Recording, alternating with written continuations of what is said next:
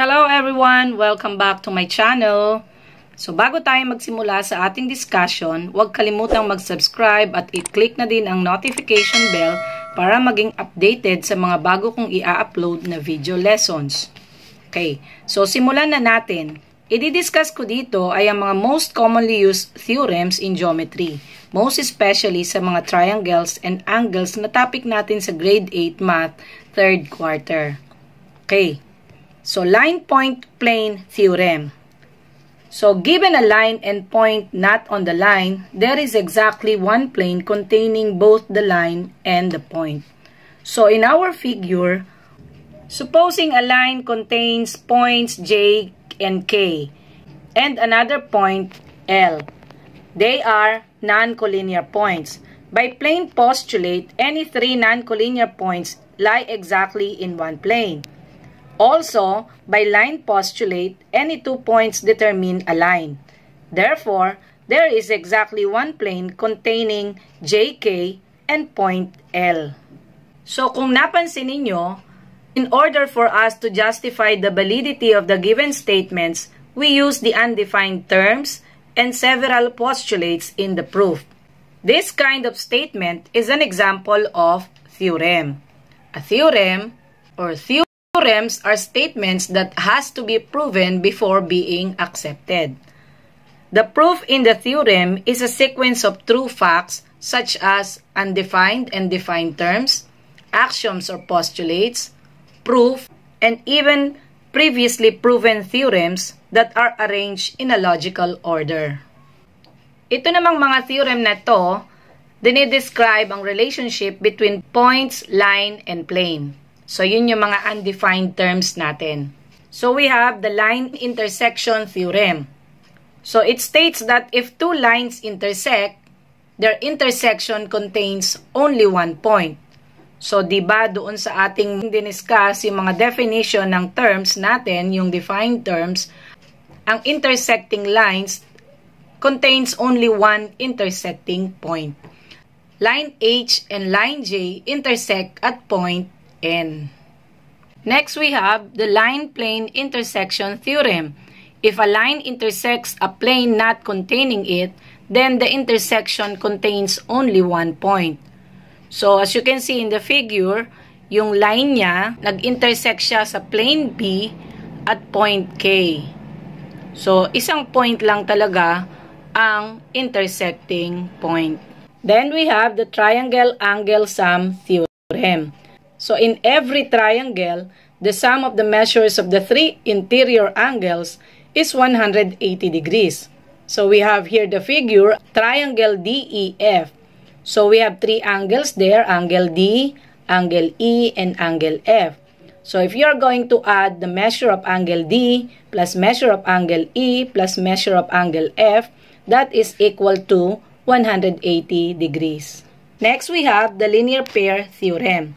So if two angles form a linear pair, then they are supplementary. So we have here the figure, if measure of angle FGP and measure of angle PGK are linear pair, based on our definition of terms of linear pair, then measure of angle FGP and measure of angle PGK are supplementary. Next, we have the supplement theorem. If two angles are supplementary to the same angles or to congruent angles, then they are congruent. So if angle A and angle B are supplementary and angle B and angle C are supplementary, therefore, angle A is congruent to angle C. So by the transitive property of equality, as you can see, parehong angle B ang kasupplement ng angle A at saka ng angle C. So, ibig sabihin, congruent ang angle A at saka angle C. So, pareho din halos ng complement theorem na if two angles are complementary to the same angle or congruent angles, then they are congruent. So, if angle D and angle E are complementary, and angle E and angle F are complementary, yung iisang angle ni angle E ang pareho nilang kakomplement. So, ibig sabihin, yung angle D at saka angle F, congruent. Okay? Ang pinagkaiba lang ng supplement at saka ng complement, yung kanilang measurement. Ang measurement ng supplement sa 180 degrees nagbe-base. Ang complement sa 90 degrees. And the last one is ang vertical angles theorem. So if two angles are vertical angles, then they are congruent. So we have here the figure, two intersecting lines. So we have angle 1, angle 2, and angle 3. So, if angle 1 and angle 3 are vertical angles formed by intersecting lines T and U, then angle 1 is congruent to angle 3.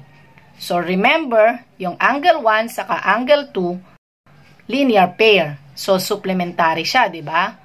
Then, yung angle 2 saka angle 3, ganun din, linear pair din at supplementary. So, parang katulad nung kaninang uh, supplement theorem, In this case, pinagtabi lang siya. So, ibig sabihin, vertical angles, angle 1 and 3, are congruent.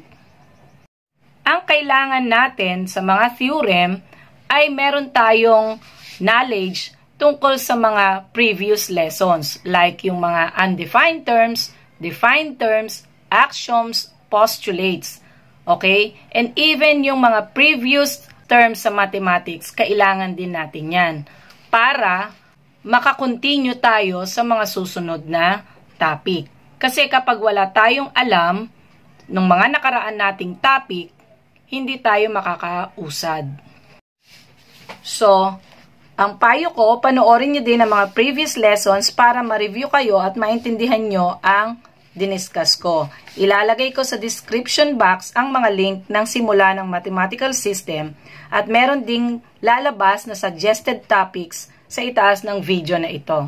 So hanggang sa susunod na video, goodbye for now. God bless everyone!